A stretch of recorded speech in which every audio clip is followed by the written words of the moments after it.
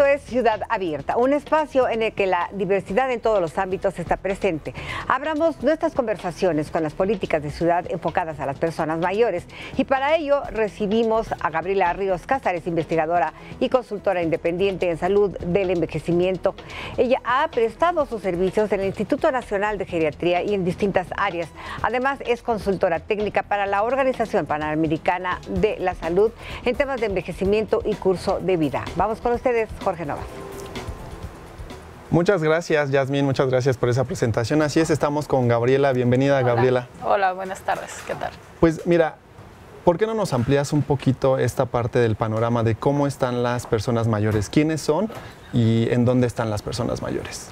Claro que sí, con mucho gusto. Eh, las personas mayores en México es una población que ha ido en aumento. Hablamos de un envejecimiento poblacional porque la proporción de personas mayores con respecto a la eh, población de otras edades ha ido aumentando. ¿Qué es lo que caracteriza a las personas mayores ahora en nuestro país? Eh, por un lado, que son personas que eh, algunas de ellas llegan después de haber padecido eh, enfermedades crónicas como puede ser hipertensión, diabetes, y que probablemente van a estar viviendo más años con estas condiciones y las posibles complicaciones, que es uno de los temas más importantes de salud. Sin embargo, también como parte de su contexto tiene que ver una, un menor eh, posibilidad de cobertura por pensiones, por ejemplo, lo cual limita su capacidad económica y los constriñe también a un contexto socioeconómico diferente. Igualmente, eh, tenemos ahora cambios en nuestras ciudades que a ellos los ponen en riesgos o en retos a los cuales no estaban habituados, con los cuales también su movilidad probablemente se ve afectada. Para darnos una idea, aproximadamente un tercio de los hogares en todo el país vive por lo menos con una persona mayor. Una proporción de estos hogares, por ejemplo, eh, son incluso jefatura a cargo de una persona mayor. Y también valga la pena decir que por lo menos una cuarta parte de las personas mayores de nuestro país viven en poblaciones de menos de 2.500 habitantes, porque a veces nos quedamos solamente con la idea de que las personas mayores viven en las zonas urbanas, ¿no? en las grandes ciudades, así es. ¿Y cómo garantizamos o en qué consistiría esta parte de una vida plena para las personas mayores? Bueno, eh, ahí es muy importante, yo diría, para marcarlo de manera muy concreta. Eh, hemos estado habituados a enfocar muchas de nuestras políticas y programas de acuerdo a las necesidades de las personas. Hoy necesitamos tener un enfoque de derechos que eso hace un cambio completamente tanto desde cómo miramos a las personas como toda la serie de programas. ¿Qué, ¿Cuál es el enfoque de derechos o qué es lo que propone? Tener en cuenta no solo qué necesitan las personas mayores en términos de salud, de cuestiones económicas, sociales, de inclusión, de no discriminación, sino también dar una voz real y verdadera para saber qué es lo que ellas están necesitando y lo que consideran importante en su vida. A veces desde las instituciones asumimos que eh, tenemos ¿no? idea de qué es lo que necesitan y tenemos aproximaciones. Sin embargo, Justo es indispensable preguntarles qué es lo que es importante para ellas y generar condiciones para que ellas sigan haciendo lo que consideran importante, porque eso es lo que da plenitud a la vida de cualquier persona. Sí, justo esta parte que decimos también con otros eh, grupos prioritarios, ¿no? De nada sin nosotros, que esta parte de las políticas públicas que se den en las, en las ciudades desde el gobierno, pues sea con la voz de las personas mayores en este caso, ¿no? y ¿Cómo definiríamos esta parte del envejecimiento saludable, de un envejecimiento saludable? Todas, eh, todas y todos en algún momento pues vamos a llegar a una vida ah, adulta y vamos a ser personas mayores. ¿Cómo, cómo garantizar esta parte?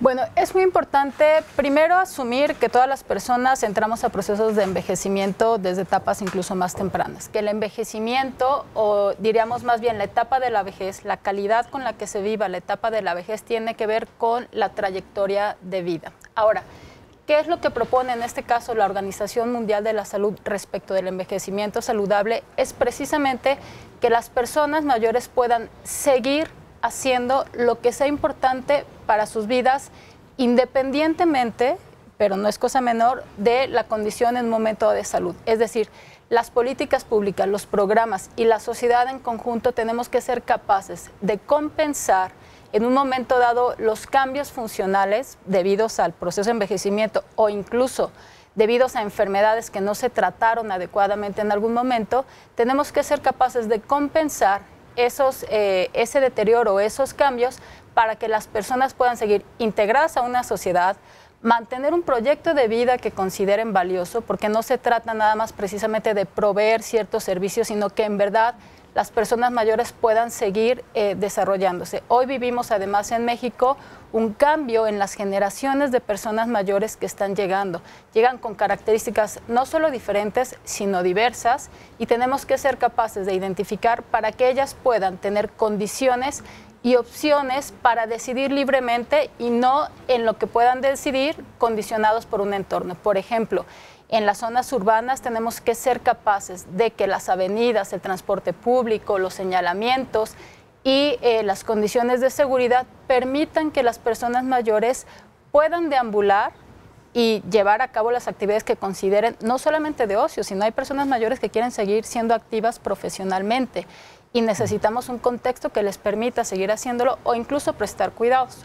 Buena parte de la condición de dependencia, no solo en las personas mayores, sino en las personas con alguna discapacidad, se debe sobre todo a un entorno que resulta adverso, más que a la condición misma. Entonces, el envejecimiento saludable lo que propone es reconocer la capacidad intrínseca, es decir, las características de la persona, para poder compensar o incluso incentivar y recuperar su capacidad eh, para hacer lo que consideran importante.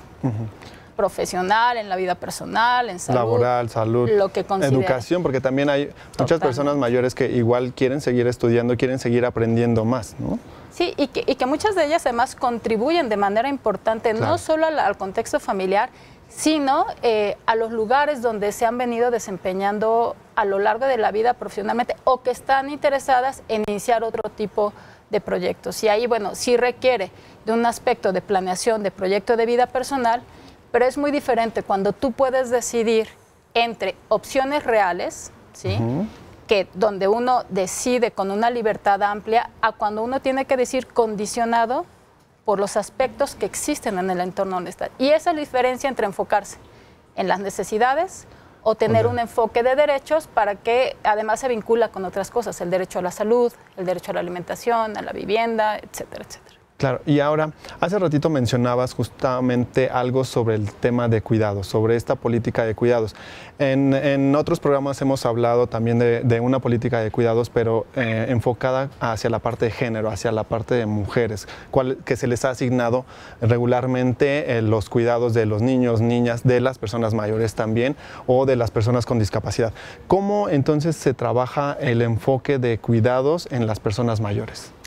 Bueno, es un tema apasionante, porque además yo diría que desde una postura eh, desde la cual estudio los cuidados, en realidad los cuidados tocan a todas las personas en toda la trayectoria de vida, son recíprocos, aunque no siempre, más bien eh, son vinculatorios y son relacionales siempre.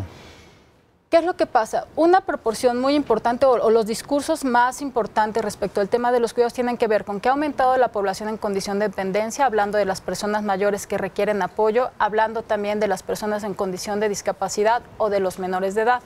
Y efectivamente, eh, digamos, los estudios feministas han hecho visible que fundamentalmente el trabajo de cuidado se hace sobre todo por las mujeres y cuando ocurre en condiciones desiguales, en condiciones inadecuadas, esto se convierte en una carga excesiva, ¿sí?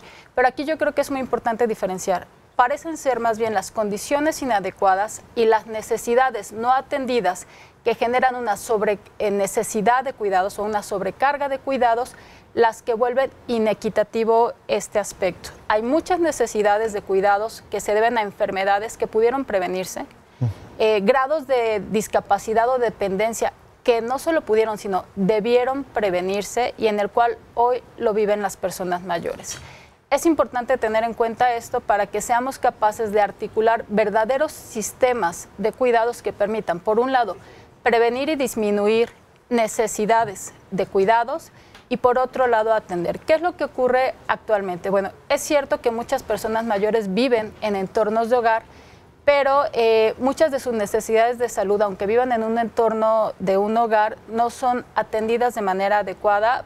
Hay un mal rendimiento, yo diría, de parte de los servicios de salud, que por un lado falta capacitación o falta personal especializado y muchos otros aspectos que, tienen que ver con el rendimiento de los sistemas de salud, que al final deterioran de una manera un poco más acelerada las condiciones de salud de las personas mayores y eso las coloca en esta necesidad de cuidados. ¿Qué es lo que está pasando también? Que esta responsabilidad de cuidados está quedando fundamentalmente en las familias.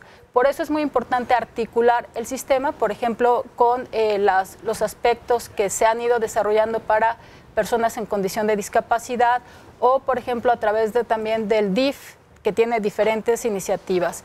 Algo que hemos visto es la duplicación no solo de programas, sino de servicios lo cual genera también un gasto innecesario que podría optimizarse si realmente se articular como un sistema de cuidados. Específicamente, los mayores incentivos en los sistemas de cuidados se han dado para el cuidado de los menores de edad, por ejemplo. Y sí necesitamos hacer un énfasis de cuáles son los cuidados específicos para, las personas, mayores, porque algo que se llama el trabajo no remunerado en salud es lo que más ha aumentado en los últimos años respecto del trabajo que se hace en general en salud, incluyendo el sistema de salud. Es decir, el trabajo que las familias están haciendo para el cuidado en salud, eso es lo que más ha aumentado, en los últimos años. Y de estos cuidados, sobre todo los cuidados especializados. Quiere decir que hay un cierto tipo de cuidados que deberían resolverse en otros sistemas que no están ocurriendo.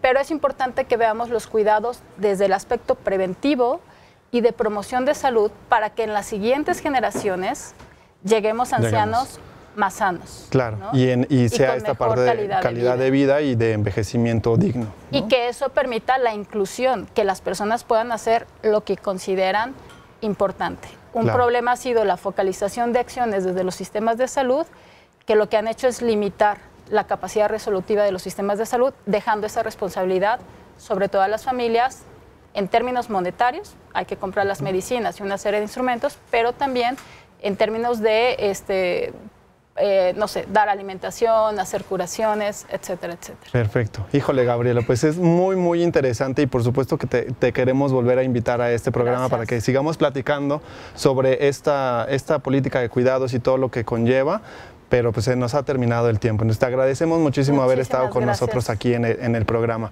Amigas, amigos, vamos a un corte y regresamos.